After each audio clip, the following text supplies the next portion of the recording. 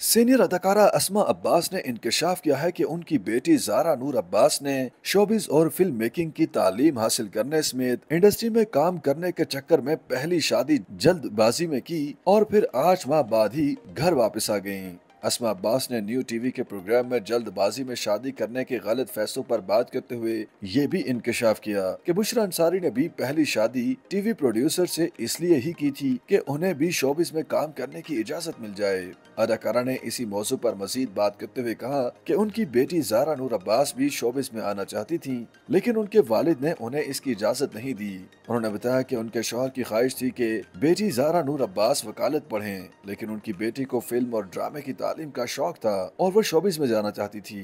उनका कहना था कि उन्होंने मुताद बार बेटी को समझाया कि जब उन्हें ही अदाकारी की इजाज़त नहीं मिली थी तो वो कैसे उन्हें शोबिस में जाने की इजाज़त दिलवाएँ? असमा अब्बास ने बताया कि उनकी बेटी जारा नूर अब्बास बाजिद थी कि उन्हें शोबिस में काम करने, टीवी और फ़िल्म पढ़ने की इजाज़त दी जाए, लेकिन उन्हें इजाज़त नहीं मिलती थी। इसलिए वो चोरी चोरी कॉलेज और यूनिवर्सिटीज में होने वाले प्रोग्राम में अदाकारी किया करती थी।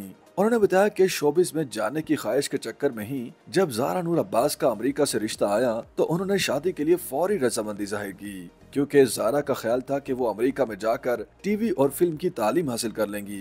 असमा अब्बास के मुताबिक जारा नूर अब्बास ने टीवी और फ़िल्म की तालीम हासिल करने समेत शोबिस में जाने के लिए अमेरिका में मुकीम शख्स से जल्द शादी की हामी भरी, लेकिन ये फैसला गलत निकला। उन्होंने इंकशाफ किया कि शादी के महज आठ माह बाद ही उनकी बेटी जारा नूर अब्बास वापस घर आ गई थी। उन्होंने कहा की बच्चियाँ अपनी ख्वाहिशात की तकमील के लिए नासमझी में कभी कभी गलत फैसले भी कर लेती है, और उनकी बेटी ने भी गलत फैसला किया। ख्याल रहे की जारा नूर अब्बास ने पहली शादी सन 2014 में की, जो कि बाद तलाक आरोप खत्म हुई। जारा नूर अब्बास ने दिसंबर 2017 में अदाकार असद कुरैशी से दूसरी शादी की थी और उनके यहाँ पहले बच्चे की पैदाइश मार्च 2024 में हुई थी। YouTube पर गूगली न्यूज़ देखने के लिए YouTube.com की सर्च बार में गूगली न्यूज़ टीवी टाइप करें। गूगली न्यूज़ के पेज पर सुर्ख रंग के सब्सक्रिप्शन वाले बटन पर क्लिक करना ना भूलिए। YouTube पेज पर अपलोड होने वाली वीडियो से बाखबर रहने के लिए बेल आइकन पर क्लिक कीजिए। आपको हर नई वीडियो के बारे में नोटिफिकेशन मौसू हो जाएगा।